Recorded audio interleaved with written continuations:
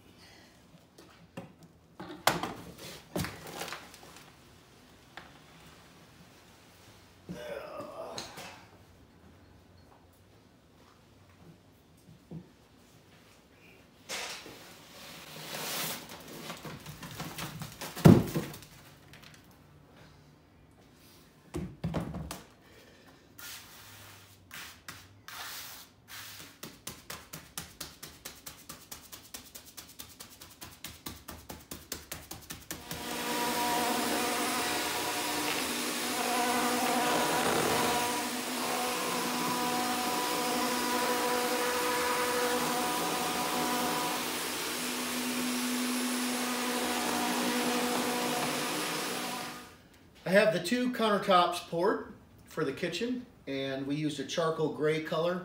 They look really black now, but uh, my experience with this is when they cure and dry, they're gonna lighten up quite a bit, but they're, uh, the darker the better for me. Um, I kind of want them a dark charcoal gray, kind of goes with the, the cabinets. So I'm just doing a little bit of final touch work here, making sure we've got them trawled out. We'll let these cure now for at least four or five days before we do anything with the forms. And then I'll come back with a diamond grinder and grind the edges um, on the back side of the countertops before we take the forms out. I poured the important one last, which I should have done first, and I ran just a touch short on the uh, the charcoal gray, so I put a little a little spot of concrete in the middle here, pushed the colored out. Um, hindsight's always good. I should have poured this one first, but uh, I didn't. And I'm just doing a little final trawl job on this one. I also got this one a little bit too wet um, compared to the other one. I don't think enough to make any difference on strength, but it kind of makes me mad I got that just a, a little bit too wet. To be honest, uh, if I admit it, I think I counted wrong when I was putting uh, jars of water in. I think I, I miscounted and put one extra in. So now I just need to be patient and let these cure. Um, I watched some other people online on their cab or their builds, off-grid builds, and everybody's complaining about the weather. I think we had 30 plus inches of snow at the cabin the other day in Montana. I talked to my neighbors and they said it was still no, snowing a few days after that. And uh, I hope they've got plenty of supplies and uh, that they're staying safe. But uh, I always worry about them when I'm here. But uh, they're pretty they're pretty self-sufficient. Uh, so we'll let these dry for four or five days. We'll get the edges ground. We will flip them over and we'll diamond polish them. And uh, we'll let that sit cure for probably a week to make sure they're they're dry. And then I will seal those. I'm going to seal these with tung oil. Done a little research and I think that's what I'm going to seal this concrete with.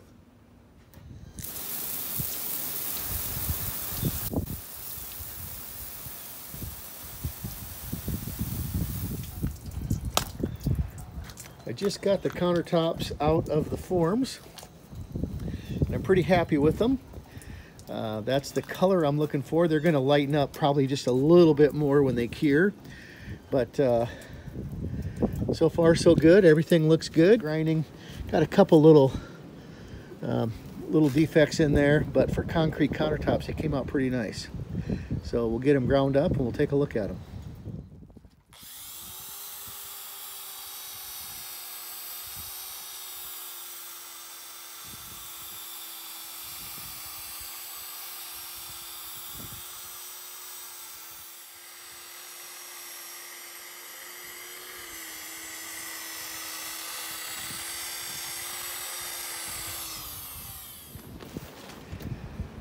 I'm getting ready to do a second grind on the, the countertops.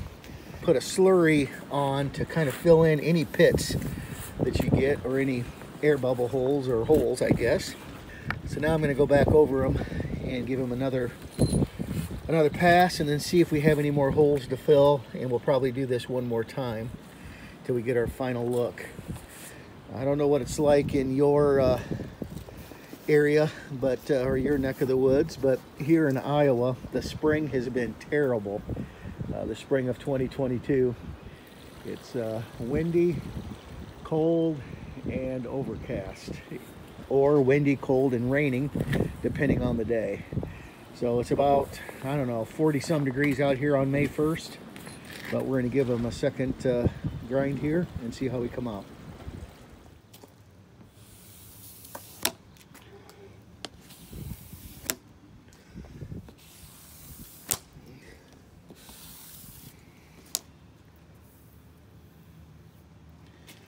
It's either May 3rd or 4th. And we finally got a day that uh, I could come outside and grind this concrete without freezing. It's still pretty chilly out, but uh, I spent about an hour and I did a final grind on the concrete. And I went a little bit deeper than I was kind of thinking, but I like the look of that. You can see some of the fine aggregate in there. Um, I'm going to seal this with uh, tung oil, but I'm going to let this dry thoroughly. Uh, I think the rule of thumb is you want your concrete cured two weeks um, before you apply a sealer, something like that, or 5% moisture, but I think it usually takes about two weeks for that to get to there. So I will let these dry. It's been almost two weeks since I poured this. Um, some people like to grind them a little bit sooner than what I did, but it came out really well. So in case anybody's interested in my process, it's pretty similar to other people's.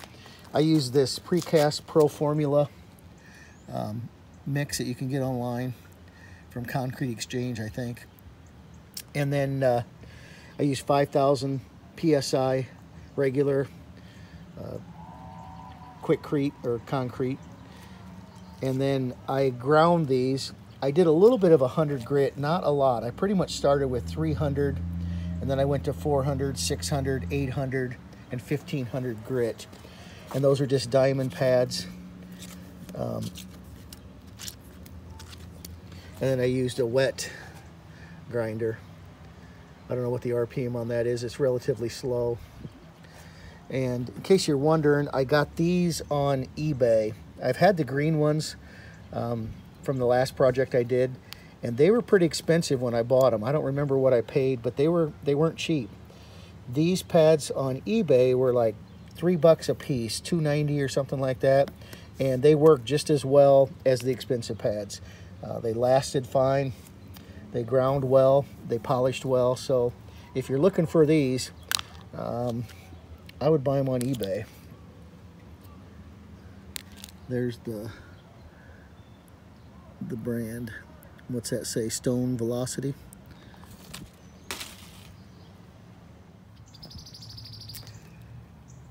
Today I'm sealing the concrete countertops. Uh, I've got one coat on this side here. Haven't started on that side yet. You can see the difference. And I'm using a pure tung oil for my sealer for my concrete countertops. I think it's going to take uh, four to six coats of this stuff. So the first one just went on here and it still looks it looks pretty even so I thought maybe it'd be a little blotchy after the first one. And I'll set up here and just all you do is apply it rub it in soak it in wipe it off let it dry and repeat. So we'll give you a little little look of that here in a minute. So just take the tung oil add a generous amount onto the surface and start rubbing that in. With just about any finish you use, you always want to put them on as thin as you can. So you want to wipe off as much of this excess tung oil that's sitting on the surface as you can. Just do a little update. Um, I think that's five coats of uh, tung oil on the countertops. I think maybe one more coat, maybe two more, and then we'll buff that a little bit. And uh, the countertop should be ready for their trip out to Montana.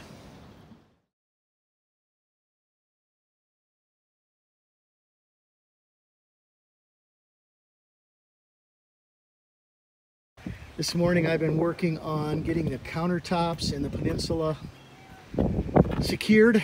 I think we're ready to go there. We're on day two, we're installing countertops. It's dark outside, but we are gaining. We've got the concrete ones in. There's our sink.